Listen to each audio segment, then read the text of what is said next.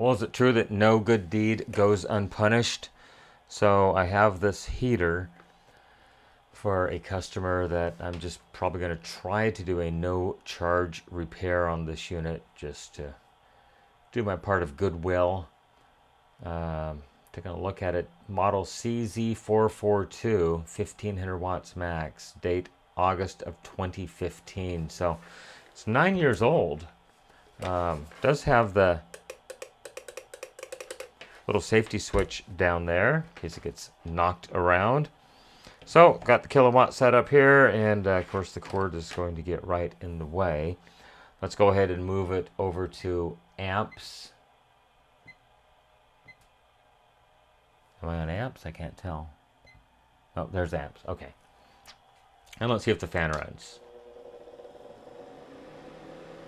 And the fan runs 0.28 amps. Does the heater do anything?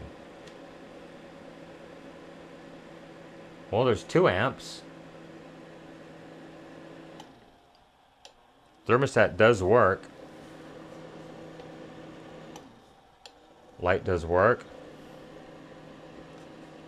So it's got low and high. Seems to be working. If I can switch this into watts possibly.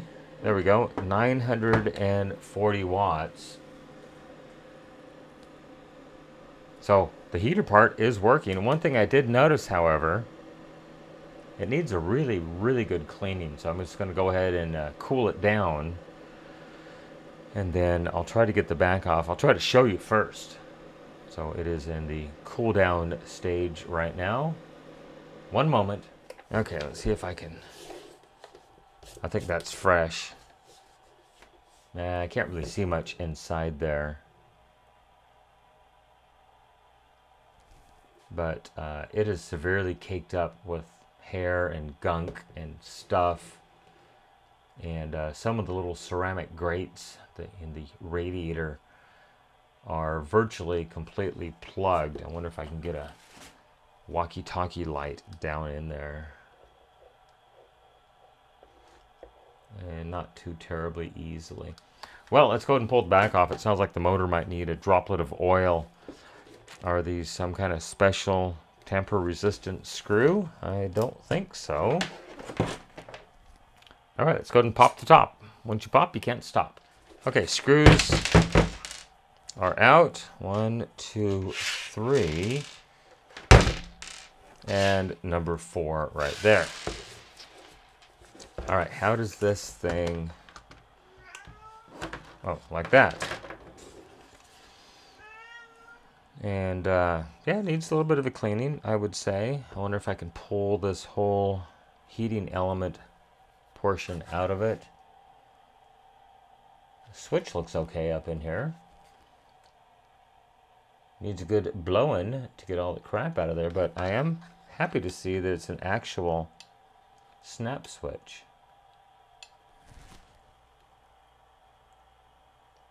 So that will last much, much longer. Let's see if I can turn it.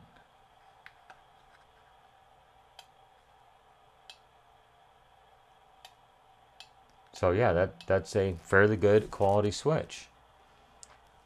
At least in my estimation. Well, let's go ahead and try to get the fan assembly out.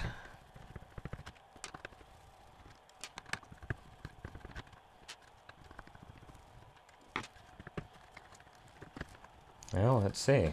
How do we get this out of here? It's got too many wires stuffed up in there. I should get my electric drill, but I had to take a little trip and took it with me, and it's still packed. So very nice little safety switch right there, just in case it were to get too hot. It'll snap open. Now, hopefully, with that removed, this might lift up and we can get some of that hair off of there. Nasty, nasty. But perhaps you can see what I was talking about. Maybe we can pull the blade off of that fan. Either that or I wonder if this whole ceramic element. Yeah, it does. Just lifts out. Okay. Well, that'll make cleaning a breeze.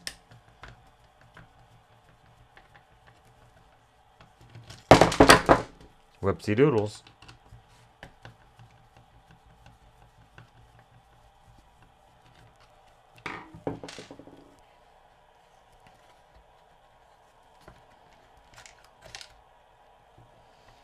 Oh, I think I found the problem. I'm betting that shouldn't be there like that. Uh, well, let's go ahead and get the fan out of here and uh, put a couple droplets of oil in it. Well, if it's going to be a no-charge repair, I might as well do it upright, huh? Uh, okay. Well, we'll figure that out when we get there. So I'm wondering, yikes. This thing has got some serious gunk in it. Holy moly. At least the fan is good. Now, is this right hand or left hand thread? I am so surprised that the fan blades are held on with hardware. And a lock washer.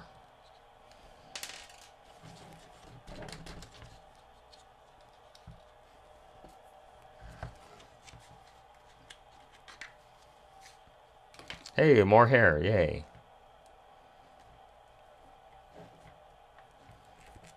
Wow.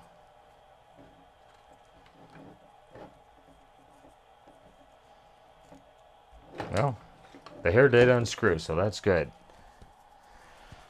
Probably not going to go ahead and service this motor just because it seems to rotate just fine. Just going to add some oil to it just to make it work. And then, of course, we'll have to clean the biscuit off of that.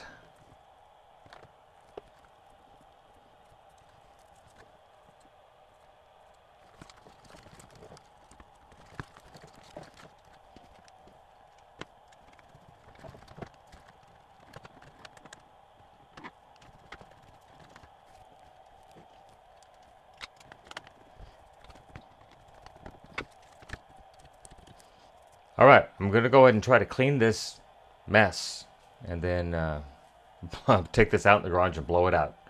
One moment. Well, certainly looks a lot, a lot better, with the exception of this that I found. It appears to be uh, the main feed into the power switch, and uh, it's not really bad bad, but it's been warm. Not catastrophic, but all the cat hair is blown out of everything. Um, appears there is maybe no, I guess not. It's lying on the workbench. Uh, all the dust has been blown out of both sides of the motor. And the radiator is completely cleaned at this point. So look at that. You can actually see light through it. Well, maybe. Yeah. There we go. Yep, you can see light through it now. I think it's going to be much, much better. I don't think there's any directionality to this. As far as I know, it just goes in there. All right, let's get this thing all thrown back together. I'm just going to strip this wire back and uh, retin it like they had it and plug it back in there into the little slot there. Hopefully things will be good. Well, hopefully this will be a little bit better. I took a piece of a 12 gauge solid copper and soldered the existing red wire onto that and then plugged it into the terminal and I worked it around a bunch of times to scuff up the contact. So hopefully uh, that will provide a little more heat sinking in case there is going to be heat generated. So uh, I'm thinking I'm going to just grab a piece of paper and run it through the contacts right there as well as the safety switch right there. And then I think this thing is going to be good once again.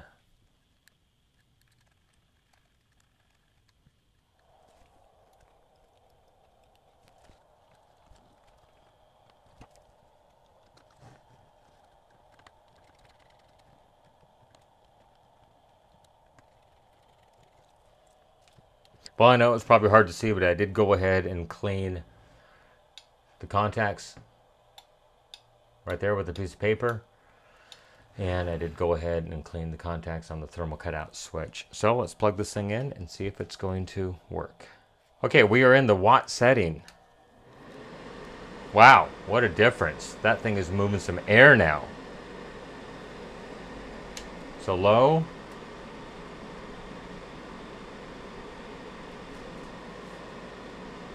So we got about 400 watts on low.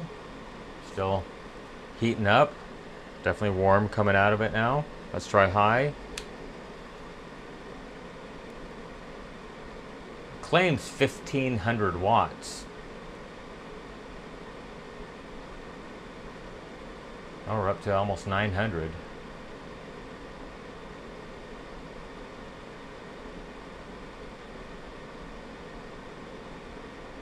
Oh, 935 watts. That's not bad. Definitely moving some air now. Man, this thing moved no air previously. None at all. So if I lift this up, will it shut off? Yep. That's the safety switch. Yeah. You just you can tell by the sound of it how much more air it's moving than it was. Well, I'm just going to go ahead and throw the cover back on it. Let's go ahead and switch this off. I just want to see if that terminal is getting warm. And no, it is not. It is ice cold even under full load for just a few seconds. Uh, anyhow, that's going to be it. The repair on the uh, Howard Berger Company Incorporated ceramic heater comfort zone, 120 volts, max 1500 watts. Nine years old. Wow, I wouldn't have thought that. It looks almost brand new. Whoever owned this take took really good care of it. All right, that's going to be it. Thanks for watching. Hopefully you can repair your heater as well. Everyone have a great day. Bye-bye.